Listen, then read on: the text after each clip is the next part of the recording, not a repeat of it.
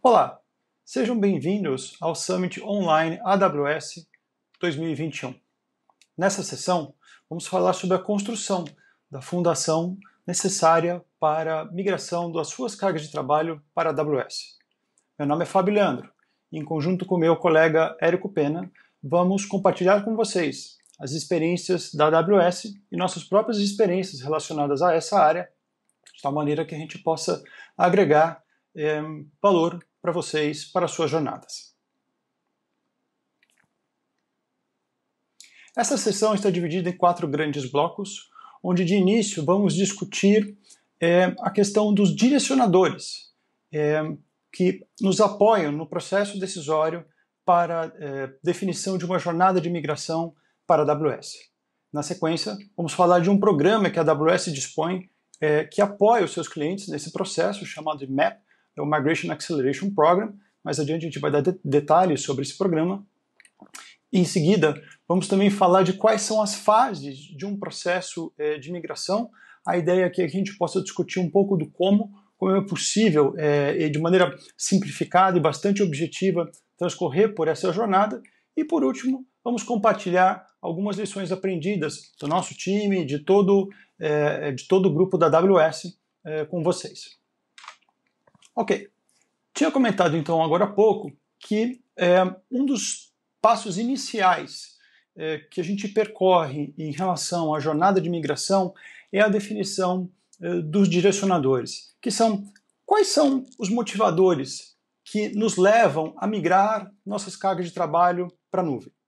Então vocês podem observar aqui no slide existem clientes é, que demandam por mais agilidade, existem clientes é, que precisam uh, tem um processo aí de redução de custos, uh, tem clientes que já estão, já estão numa jornada de, de transformação digital, outros buscam por acrescentar funcionalidades que hoje no seu ambiente on-premises talvez seja um pouco mais difícil, mas o principal ponto aqui é que no início da jornada de migração, portanto, quando a gente identifica que mover nossas cargas de trabalho para a nuvem é algo necessário, um dos primeiros pontos é a identificação desses direcionadores, porque baseado nessas, nesses motivadores, na sequência, a gente vai definir uh, como as atividades vão ser conduzidas, qual vai ser a sequência delas, priorizações, mas um dos pontos mais importantes, de fato, é a definição uh, desses motivadores que nos levam a mover nossas cargas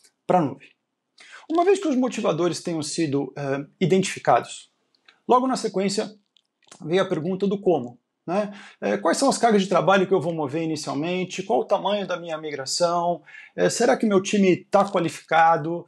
É, como eu faço para mover essas cargas de trabalho para a nuvem? Então, existe uma série de questões que vão passar a surgir uma vez que a gente tenha identificado inicialmente quais são os nossos motivadores.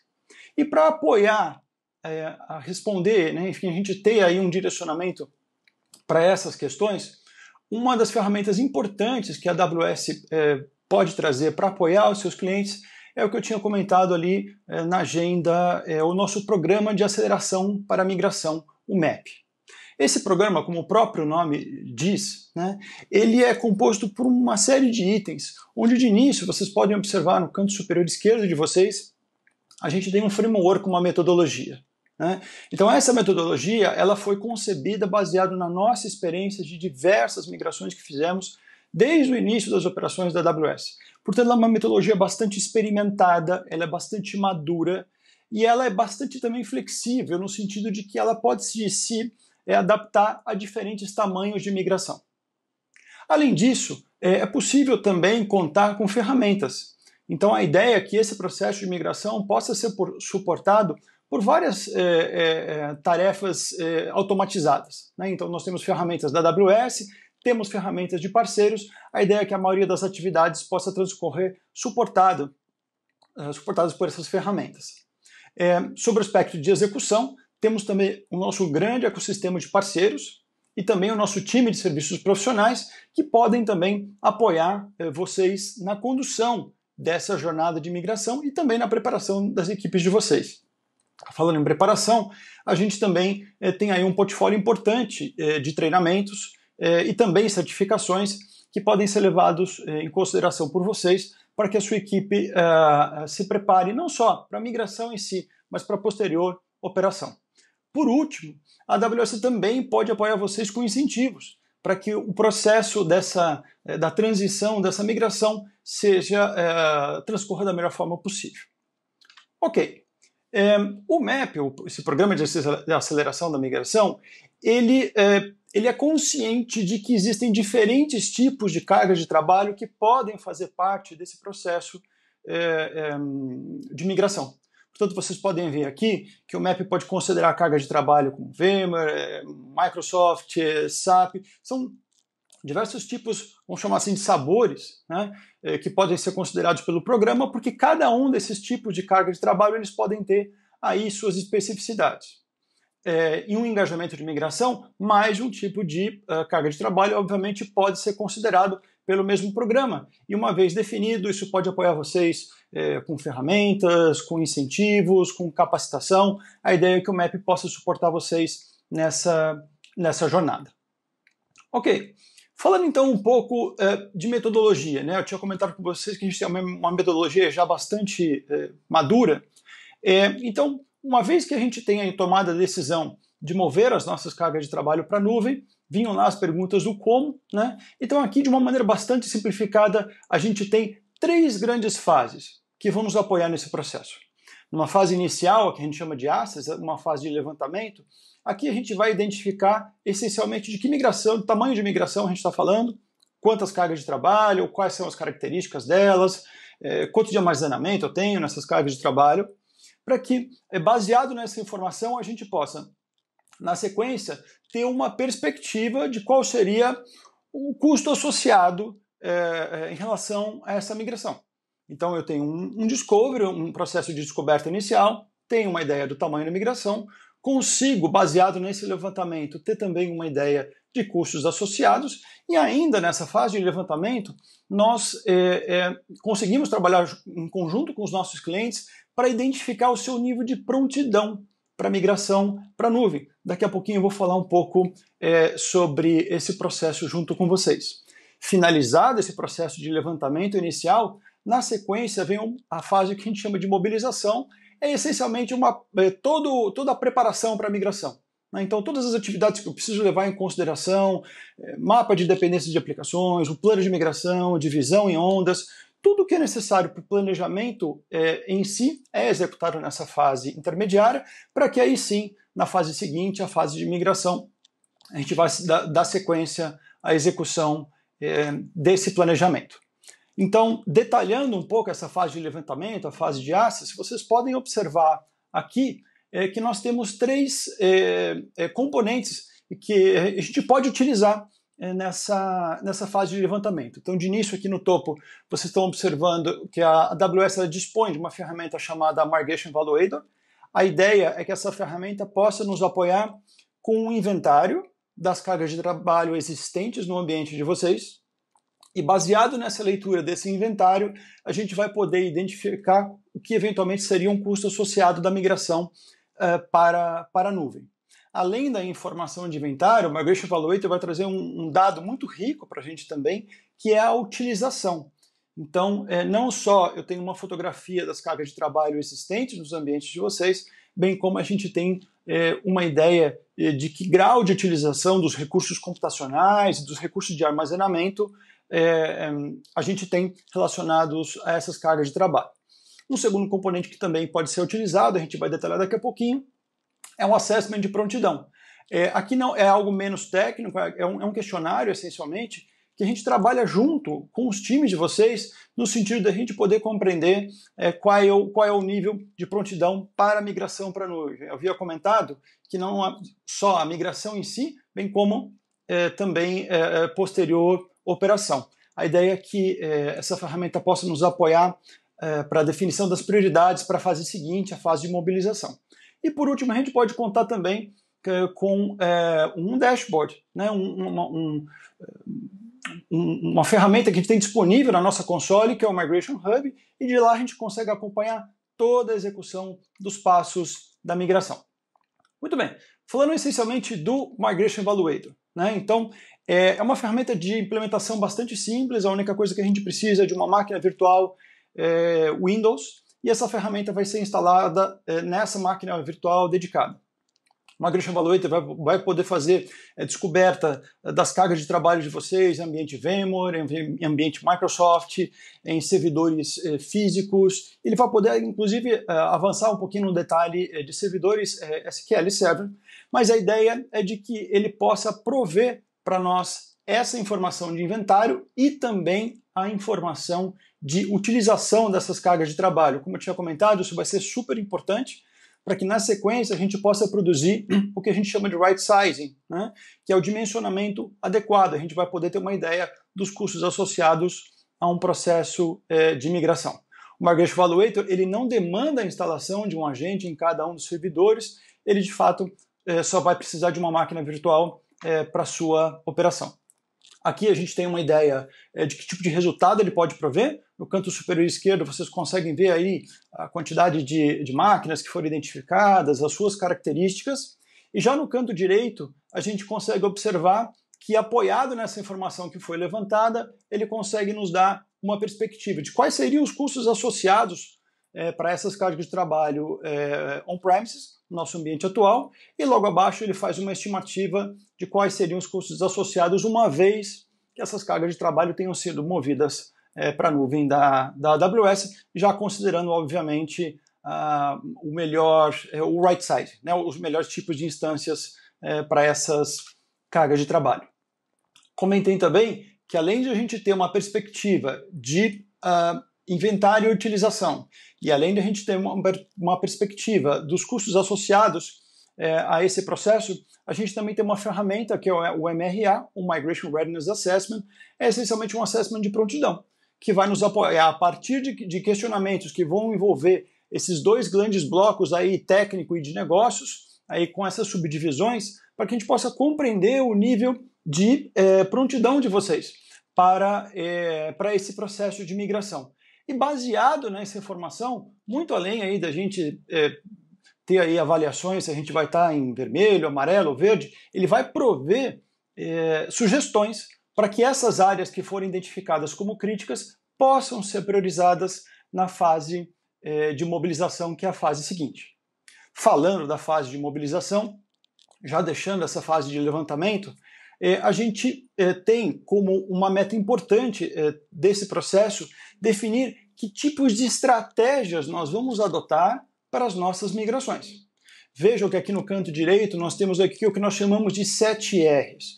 O meu o colega Érico daqui a pouquinho ele vai entrar no detalhe sobre cada uma dessas estratégias, mas o ponto importante aqui é que na fase de mobilização, dependendo do tipo de carga de trabalho, nós vamos adotar um ou outro tipo de estratégia. Vocês vão observar na sequência que não existe uma obrigatoriedade de eu adotar uma única estratégia para minha migração como um todo.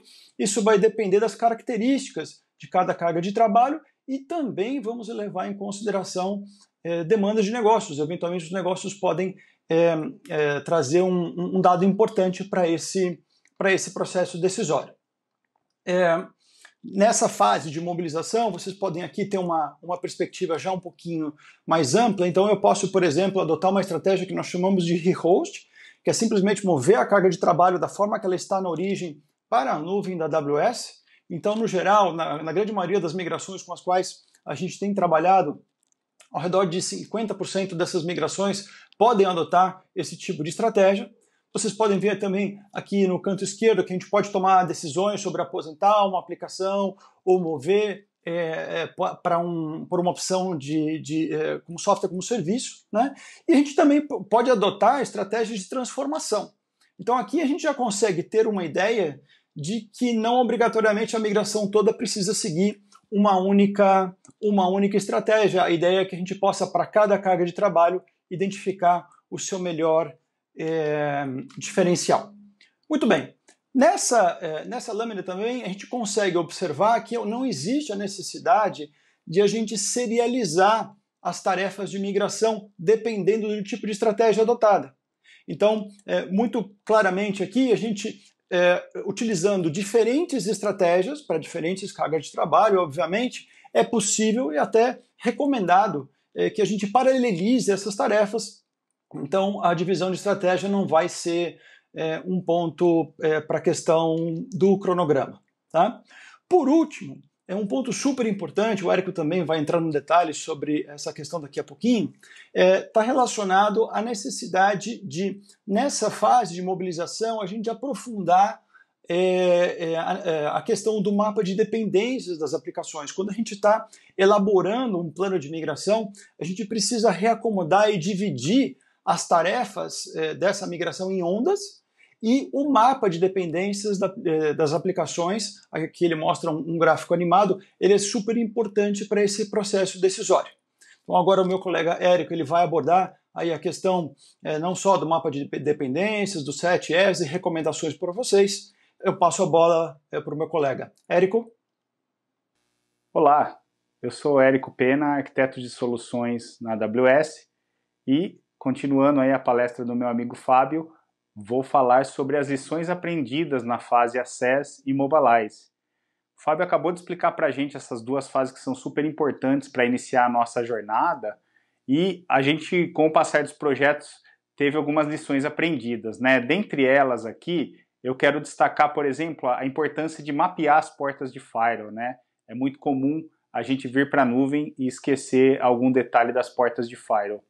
Você tem também que cada equipe é dona de uma aplicação e ela também vai ser dona do seu resultado. Então, quanto mais a gente puder interagir com as equipes, mais fácil vai ser a migração e maior vai ser o sucesso.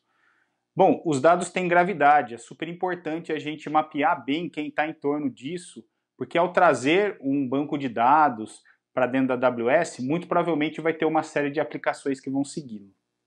Você também tem a questão de pessoas. As pessoas precisam ser capacitadas em uso de nuvem. Elas também precisam aprender os benefícios da nuvem, os serviços gerenciados nativos da nuvem. Isso vai facilitar a adoção é, e a remoção de trabalhos que hoje é feito por, pela equipe, né?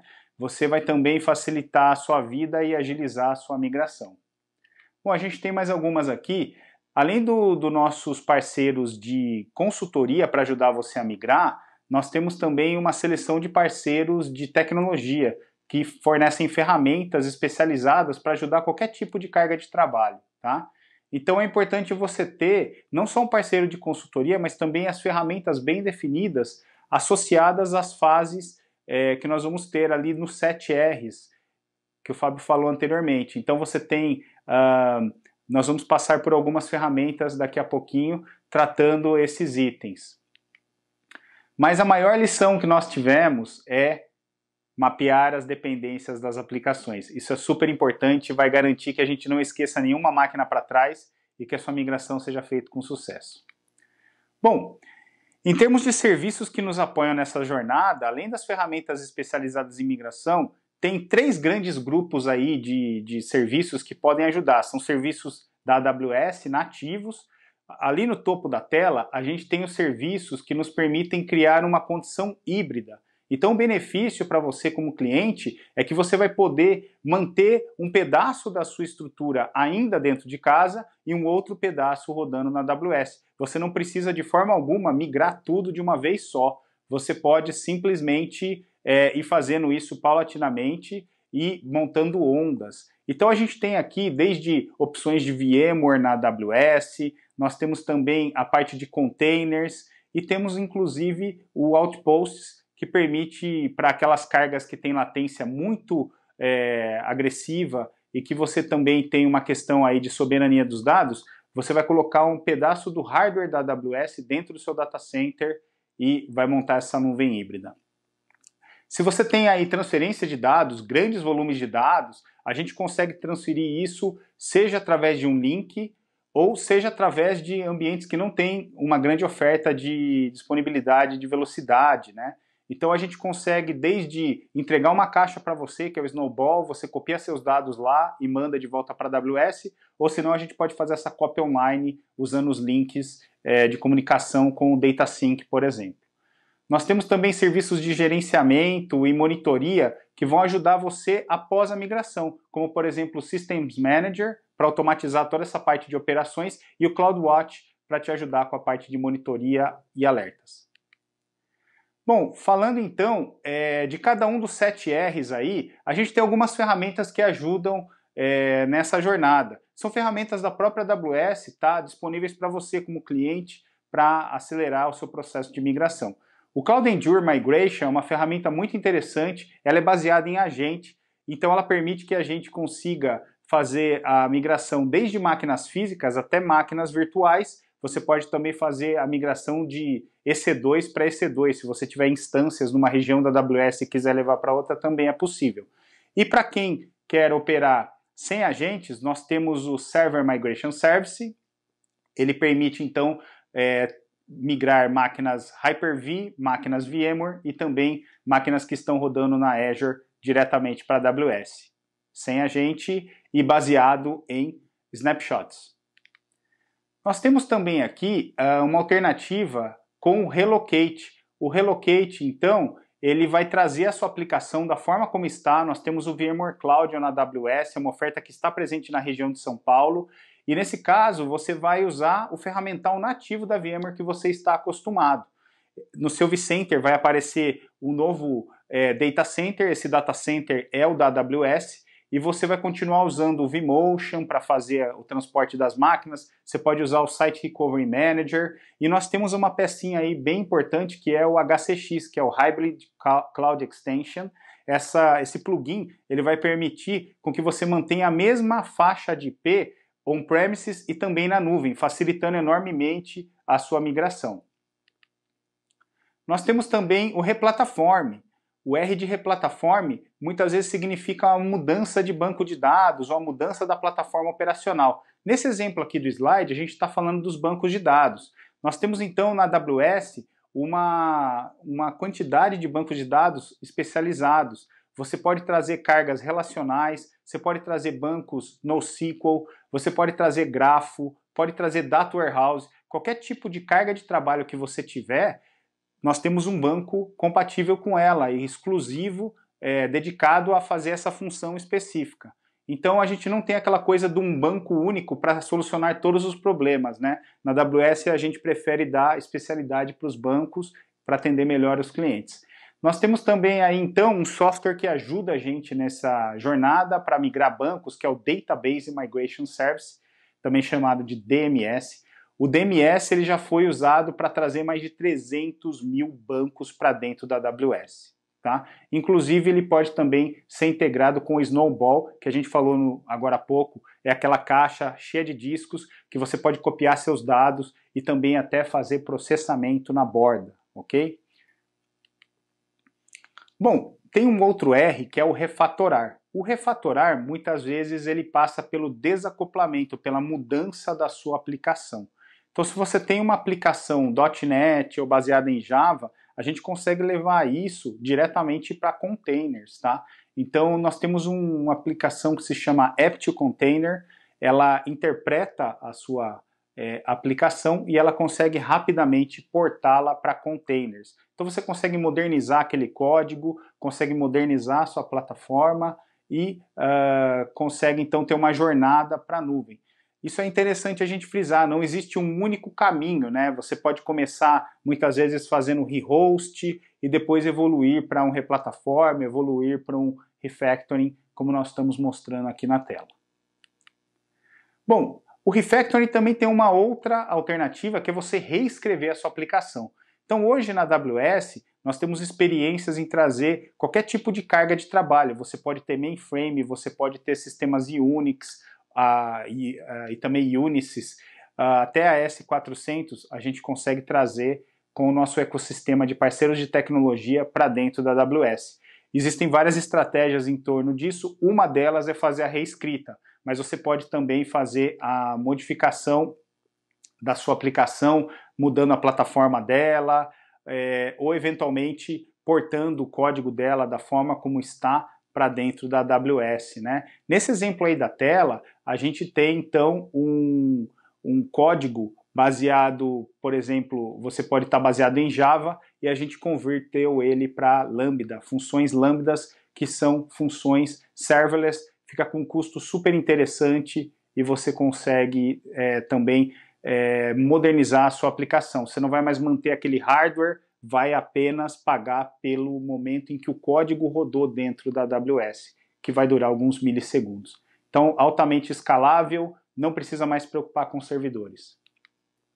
Bom, e aonde que a gente acompanha todos esses, esses diferentes jeitos de migrar, né? Nós temos um painel central chamado Migration Hub. Migration Hub ele vai te dar então essa visão de quais elementos já foram migrados. Ali na parte de baixo da tela você consegue ver, com o passar dos meses, quantas máquinas foram migradas. Você consegue também ver é, para cada aplicação quais servidores já foram migrados, quais bancos de dados já foram migrados. Então é perfeito para você fazer a gestão e entender em que ponto está a migração do seu ambiente para AWS. Finalizando, pessoal, eu queria deixar aqui cinco é, passos para a gente ter um sucesso na migração. Né? Então, o primeiro deles, você como cliente deve pensar em fazer um caso de negócios, um caso é, financeiro. A nuvem ela traz inúmeras vantagens. A primeira delas é uma vantagem financeira, mas você vai ter outras vantagens aí por trás, como por exemplo agilidade, disponibilidade, né? Então você vai conseguir entregar maior valor para o seu cliente final vindo para a nuvem. Então a, a, você consegue é, com as nossas ferramentas que o Fábio apresentou lá atrás, como o Migration Evaluator, o Migration Readiness Assessment, ele consegue te ajudar a tangibilizar esse valor antes do projeto começar.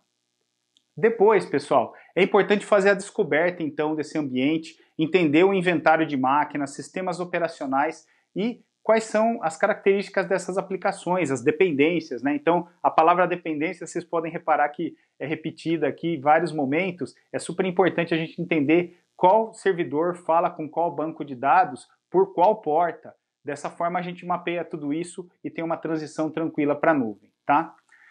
Quando você for fazer a sua transição, ande antes de correr. Nós vamos começar com pilotos, vamos começar com pequenas migrações. Você pode pegar, por exemplo, uma carga de trabalho de cada um dos 7 R's. Então você tem lá o rehost. Pega uma aplicação, traz com o rehost, usando o Cloud Endure, por exemplo. Agora eu vou para o replataforme, pego o DMS, migro um banco, né?